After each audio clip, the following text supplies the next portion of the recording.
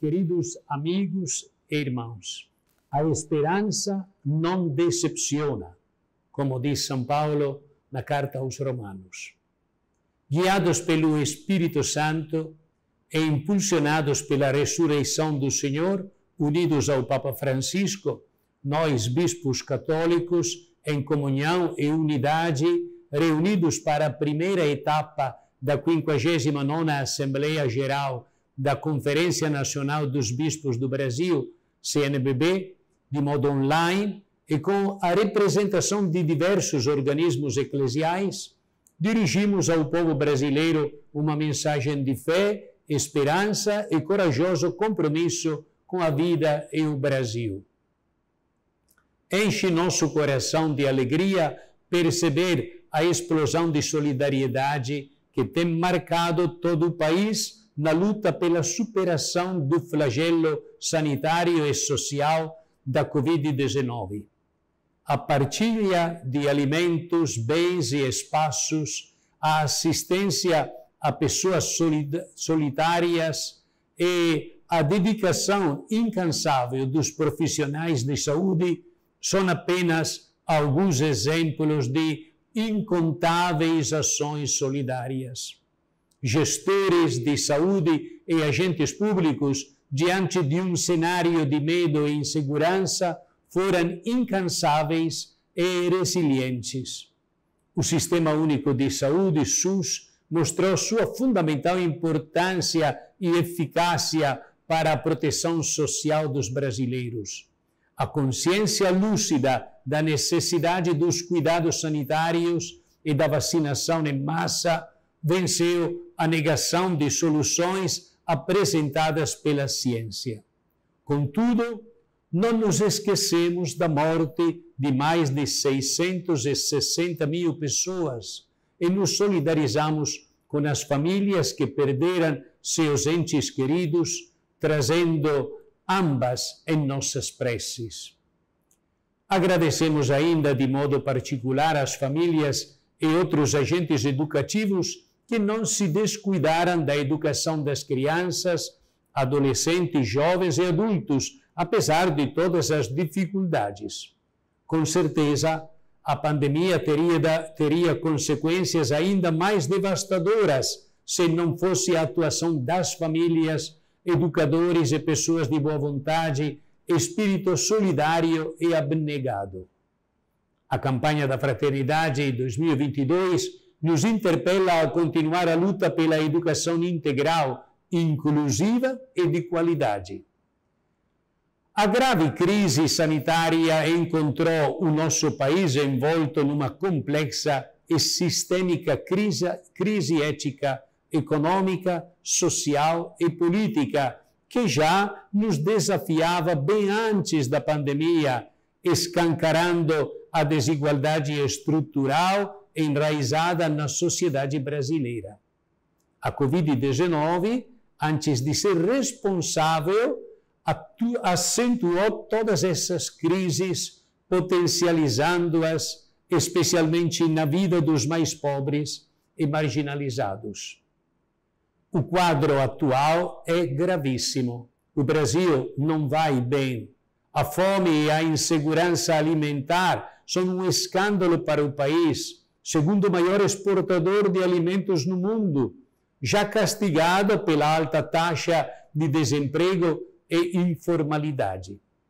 Assistimos estarrecidos, mas não inertes, os criminosos descuidos com a terra, nossa casa comum, no sistema voraz de exploração e degradação, notam-se a delapidação dos ecossistemas, o desrespeito com os direitos dos povos indígenas, quilombolas e ribeirinhos, a perseguição e criminalização de líderes socioambientais, a precarização das ações de combate aos crimes contra o meio ambiente, e projetos parlamentares desastrosos contra a casa comum.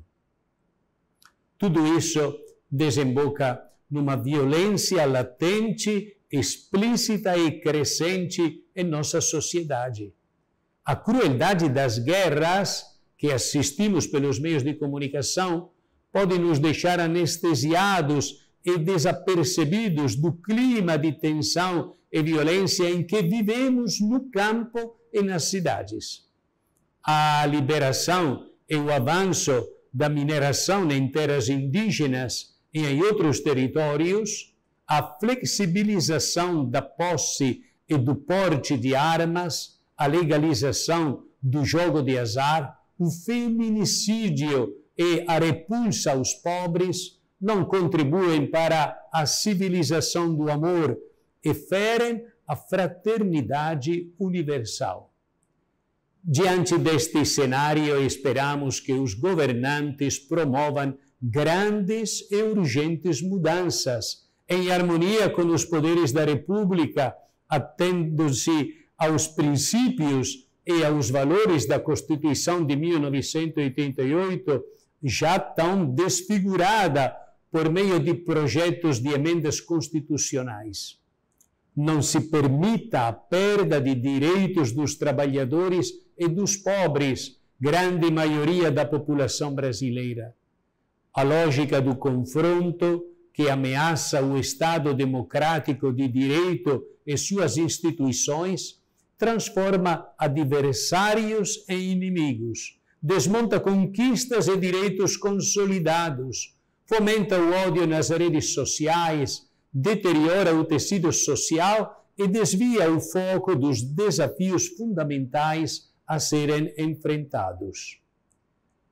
Nesse contexto, iremos este ano às urnas. O cenário é de incertezas e radicalismos, mas potencialmente carregado de esperança. Nossas escolhas para o executivo e o legislativo determinarão o projeto de nação que desejamos. Urge o exercício da cidadania com consciente participação política, capaz de promover a boa política, como nos diz o Papa Francisco. Necessitamos de uma política salutar, que não se submeta à economia, mas seja capaz de reformar as instituições, coordená-las e dotá-las de bons procedimentos, como as conquistas da lei da ficha limpa, lei complementar 135 de 2010, que, até, que afasta do pleito eleitoral candidatos condenados em decisões colegiadas, e da lei 9840 de 1990, que criminaliza a compra de votos. Não existe alternativa no campo democrático fora da política com a ativa participação no processo eleitoral. Tentativas de ruptura da ordem constitucional, hoje propagadas abertamente, buscam colocar em xeque a lisura do processo eleitoral e a conquista irrevogável do voto tumultuar o processo político, fomentar o caos e estimular ações autoritárias não são, em definitivo, projeto de interesse do povo brasileiro. Reiteramos nosso apoio às instituições da República, particularmente aos servidores públicos que se dedicam em garantir a transparência e a integridade das eleições duas ameaças merecem atenção especial. A primeira é a manipulação religiosa, protagonizada tanto por alguns políticos como por alguns religiosos, que coloca em prática um projeto de poder sem afinidade com os valores do Evangelho de Jesus Cristo. A autonomia e independência do poder civil em relação ao religioso são valores adquiridos e reconhecidos pela Igreja e fazem parte do patrimônio da civilização ocidental. A segunda é a disseminação de fake news, que através da mentira e do ódio falseia a realidade. Carregando em si o perigoso potencial de manipular consciências, elas modificam a vontade popular afrontam a democracia e viabilizam fraudulentamente projetos orquestrados de poder. É fundamental um compromisso autêntico com a verdade e o respeito aos resultados nas eleições.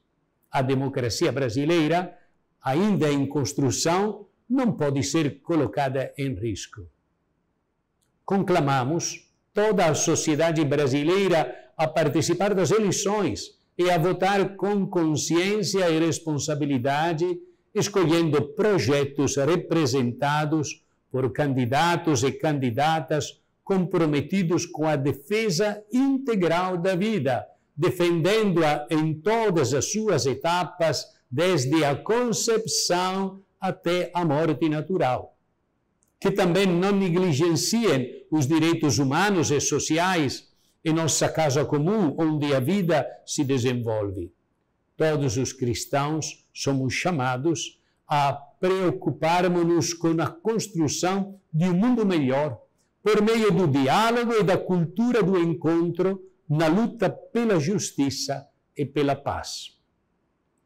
Agradecemos os muitos gestos de solidariedade de nossas comunidades por ocasião da pandemia e dos desastres ambientais encorajamos as organizações e os movimentos sociais a continuarem se unindo em mutirão pela vida, especialmente por terra, teto e trabalho. Convidamos a todos, irmãos e irmãs, particularmente a juventude, a deixarem-se guiar pela esperança e pelo desejo de uma sociedade justa e fraterna. Nossa Senhora Aparecida, padroeira do Brasil, obtenha de Deus as bênçãos para todos. Brasília, 29 de abril de 2022. Deus abençoe a todos em nome do Pai, do Filho e do Espírito Santo. Amém.